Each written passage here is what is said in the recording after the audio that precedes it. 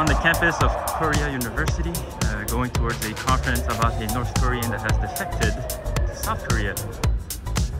Very nice campus.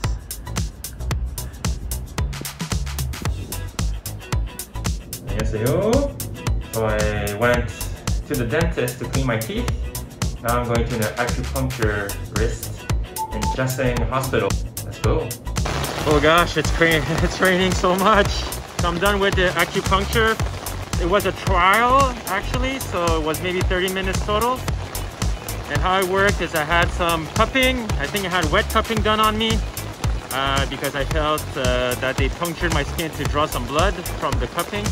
And also uh, during the acupuncture session, they dipped the needles in some sort of herbal medicine to help uh, relieve some pain and inflammation. Uh, that's what they say, so that was quite different. The first cupping, wet cupping, and the second one was a dynamic cupping, so the pressure was changing during that session. Alright, I'm about to enter an Olive Young store. It has the most stores in Korea to sell uh, beauty products because I need moisturizer.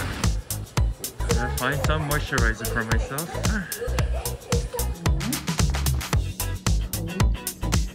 Almost same, eh?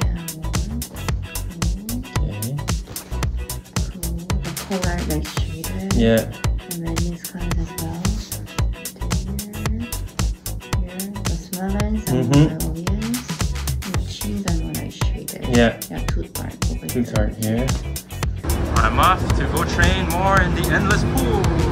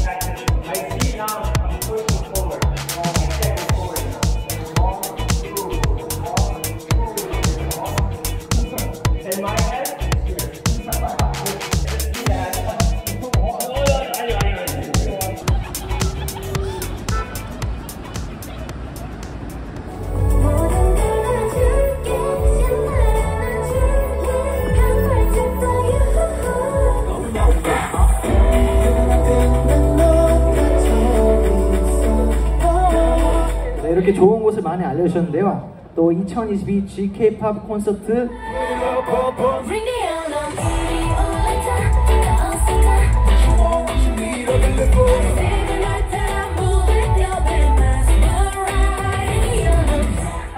Cause I'm a pirate, yeah,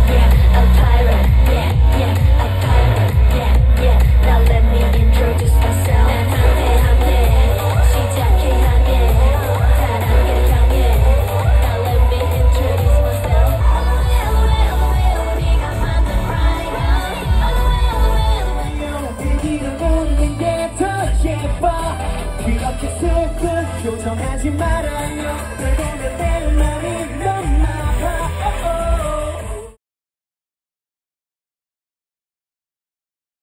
안녕하세요.